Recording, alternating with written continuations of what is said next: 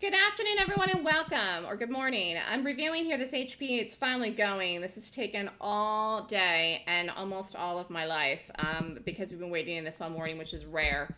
Uh, but I thought this was the best gap today and just closed out the room, and here it goes. It's going right now. So I told people they could kill it at break even. Uh, did an ad to this. Here it goes. So it's just been taking all morning. Let's go over it.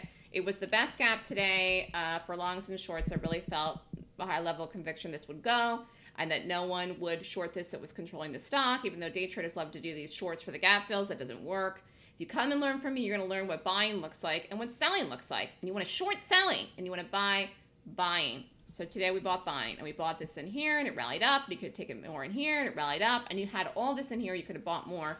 But the thing is that it's really taken an hour or more to go. Actually, it's more than an hour. So um, we're looking to get it up over the high. If you wanted to get out of it just a minute ago, that was fine though, because it has been a long morning and a long day. But targets for this are 1820, 1850. Uh, I, I, 19 probably will not be seen by this today unless the market really runs. But if the market does run, it could see 19.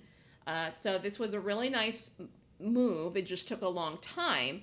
Um, but I felt high level conviction, which is why I wanted to do this. Um, there was some short watches today, but I just didn't have the conviction in them. Um, and this I did. So good luck, everyone. If you're still in it, if you got out of it, you, are profitable. It was a profitable week. Some days are small, some days are big, some days are medium.